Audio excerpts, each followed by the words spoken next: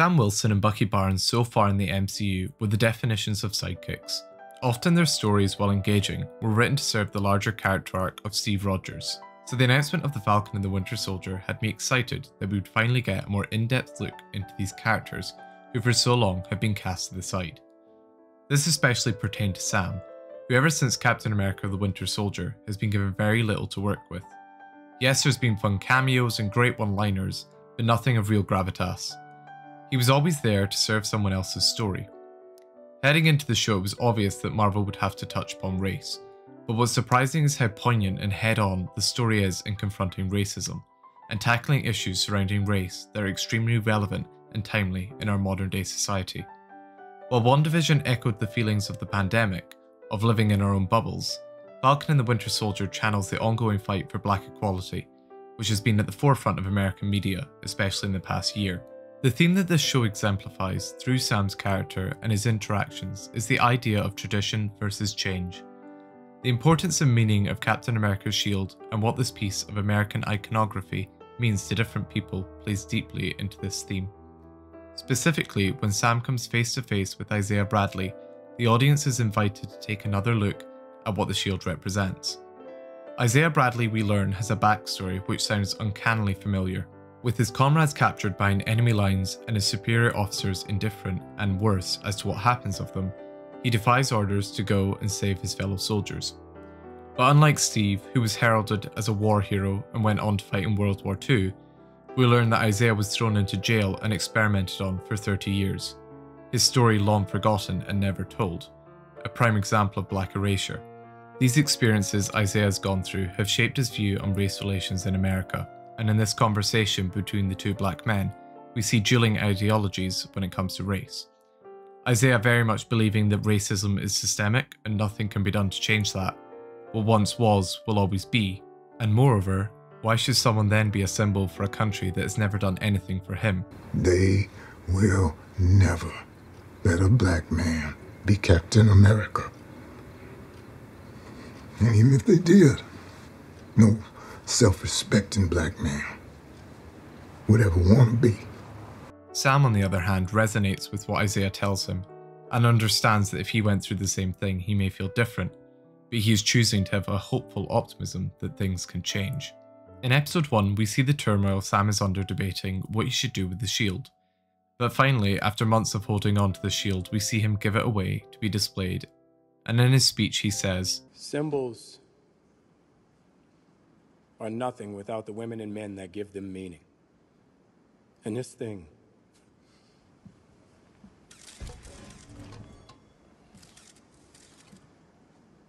I don't know if there's ever been a greater symbol.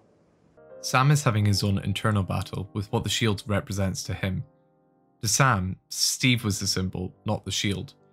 It was Steve who upheld the heroic ideals to always do the right thing, whatever it takes. Someone who truly cared about every life, not just their own. The shield was simply branding for a man who gave it meaning. And over the course of the series, we see that this is Sam's fear. He knows what that flag represents to many African Americans, like Isaiah, and the traditions that are associated with it, and Sam is scared of changing this symbol by giving it new meaning. Without Steve, that shield means something completely different, until someone takes the mantle and instills the shield with values and ideals that Steve believed in. Insert John Walker. After Sam has given up the shield to be displayed, the US government swiftly decides they have other plans and introduce a new Captain America in the form of John Walker. While Sam serves as this idea of change throughout the show, Walker is the symbol of tradition. He's the blonde haired, blue eyed Captain America the world is used to, just maybe lacking in the morals department a little. Walker serves as the anti Steve Rogers. He is a three time Medal of Honor winner and incredibly strong, yet lacks the morals and integrity Steve had in abundance. Thus juxtaposing Steve when we first meet him in Captain America the First Avenger, as a man of heart but lacking in strength. Steve stood for always doing the morally right thing, but now that the ideals behind the shield are no longer present, the morals held by the country the shield represents are less clear cut and often more violent, not to mention the obvious choice of the lack of white in his costume. White in the American flag is symbolic for purity and innocence, while the red and blue symbolise valour and justice, hinting at the fact that Walker will do whatever it takes to achieve peace, even through compromising means. The symbolism is taken a step further with Walker's costume at the end when we see him become US agent. Walker says, It's the same, but black.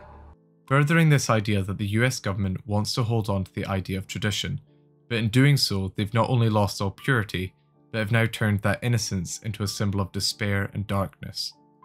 Walker is essentially, for most of the show, a surrogate for the ideals upheld by the government. He's so far integrated with the government that his ideals are non existent, and are purely those which are held by whoever is telling them to him. Where the Flag Smashers represent the globalization of the world, John Walker is a representative for pro nationalism, being used as a publicity stunt to channel the thoughts of the leaders in control of him. Until that is, when John gets blood on the shield. He's then stripped of his title. However, there is the question of if it wasn't in broad daylight in front of the public, would the government have had the same reaction? Interestingly, though, after this, in the final episode, when John is under no one's control, that is when we see him have a change in heart and try to save the truck instead of taking down Karli. This is to further the idea that unlike Steve, who was the morals behind the shield, the man making the decisions for the most part for John is the government, who are only working in their self interest. Yet left to his own devices, Walker seems to have some moral backbone. Yet Walker ends right back up in the hands of another corrupt leader, as his desire to be greater and recognised for his actions takes over. Walker represents exactly what Zemo feared a morally corrupt man who has a complete desire for power, whatever it takes. As Zemo puts it, The desire to become a superhuman cannot be separated from supremacist ideals. while Zemo here isn't referring to racial supremacy per se, it's interesting to recontextualize John up until he takes the serum as symbolizing racial supremacist ideals. John is surrounded by supportive people of colour in his life. His wife and his best friend both support John and his uptake of the mantle of Captain America. Yet, especially with Lamar, he's there as a sidekick to John's story, as someone meant to motivate John's actions. Even his death is the reason John is provoked into killing someone in front of people. John becoming Captain America and getting the super soldier serum is also the result of two black men. Sam giving the shield that eventually makes it into his hands, and the serum being a direct result of the testing done on Isaiah Bradley. This creates an interesting parallel with the Steve and Isaiah storyline, whereby Steve, John in this case, is glorified and adored by the American people, while the people of colour who helped him get there, or were heroes in their own right, have been overshadowed. Hence why it means so much for Sam to take on the mantle of Captain America, to be this symbol of change, to uphold a piece of imagery that is so saturated with meaning and history, and to be giving it a new definition. Sam is aware of the deep history and resilience many have had with the Stars and Stripes, and the hostilities he'll face from people being a black man holding the shield.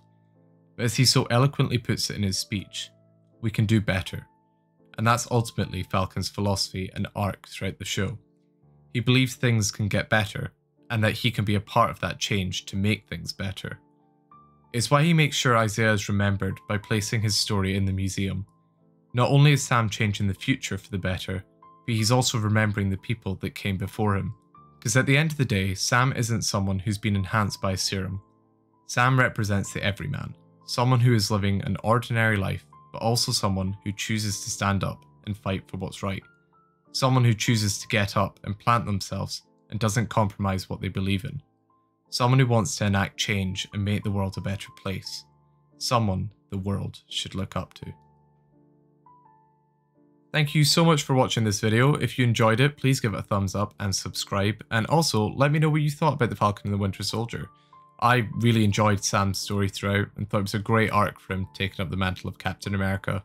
And Bucky's story with grief and learning to live with the things he's done as the Winter Soldier, taking ownership of his past, I thought was great. I did think the Flag Smashers storyline was kind of weak, but would love to hear your takes on it. And don't forget to let me know in the comments below what you found in frames.